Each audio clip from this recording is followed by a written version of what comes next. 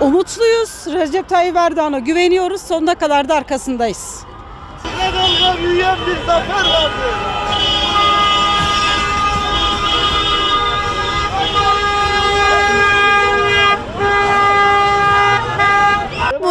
Ortam belli, atmosfer belli. Süper yani.